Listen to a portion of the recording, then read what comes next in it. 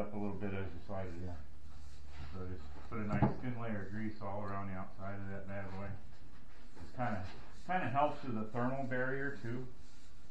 Yeah. So you're better off, you're best off to take this thing apart when it's still warm Mhm. and put, at least push the guts and everything out of it. Sure. Because if you don't, you know, they will weld themselves right to the end Sure, and you have a hell of a time. Yeah, we're in one, okay, We're in one? one more. Alright. Once again, let's flip it up. Do our thing.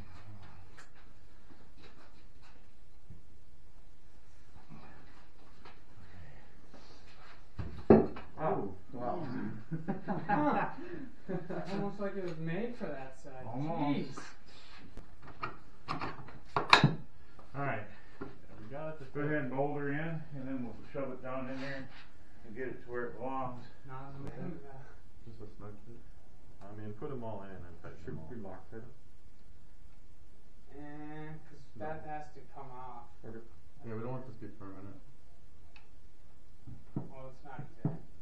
Well, yeah, there's no forces besides the shear. Mhm. Sense off. Um, And you want these to come off. what, what did he call the boat tail?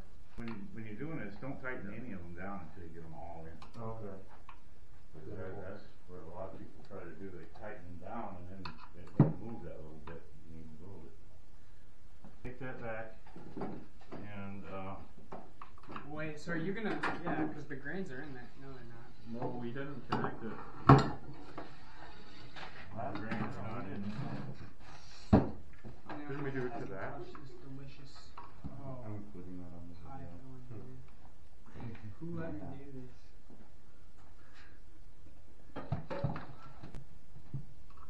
Put it in the group, And then skip over that group and go to the bottom group when you get it over. You guys get I'm gonna pulled over. You guys get pulled over, goddamn, don't tell them where you got it. I'm You're gonna. out from the fire station. What are you talking about? What should we say if we ever get pulled over with this? Tell them the truth, tell them the truth. It's, Cause the it's not, University of Minnesota Duluth. being wherever- through a university Yeah. research type thing, it's Yeah. not illegal at all. No, it's, it's a, it's a rocket motor, and yes, it's a big one, but, so we're being one. safe about transporting it. and- And there are no laws against it. I typically put the heaviest ones on the bottom, Alright, this So- one's winning so far. so the 55, 30, 30. 30 is the heavy one. And the reasoning for that is the Is- type of burn profile that it creates Well, is it's, slightly uh, different. yeah, it, it, no, not really, but it's, it has the most fuel in it. And because the bottom tends to burn out first, I wanna put the most fuel where it's gonna burn out first. That way, it, it try to, try to make things burn evenly inside the motor. You remember how I, I think I showed you guys last time how that, that burn sim comes out and your, and your line looks like this, it goes uphill. But then when we did the test, it was more flat and level. Mhm. Well, that's because of that erosion. It peels away fuel out of the inside of this grain as it's burning. It actually spits fuel out that isn't burned. Mm. But you can you can use it to your advantage. This one's always got mixed flows and everything. If it was perfect world and there was no erosion and everything, the erosion can really give you a fucking kick in the ass. About the only way you can, about the only way Yeah. How about that? I mean, you're-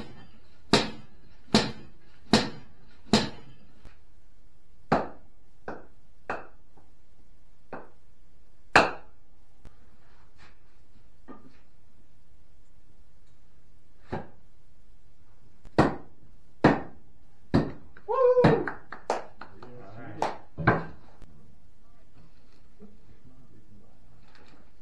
One more on this one. Seven sixteen. Okay.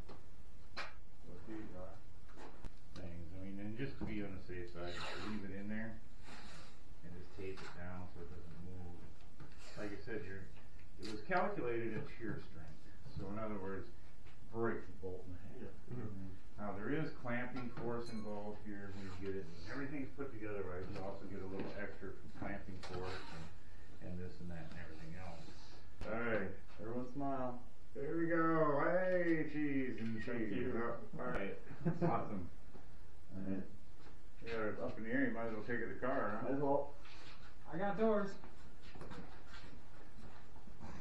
Williams just taking like all the weight.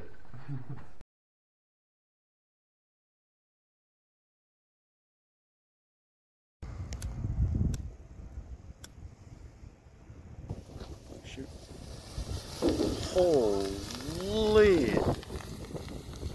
Ah, frick.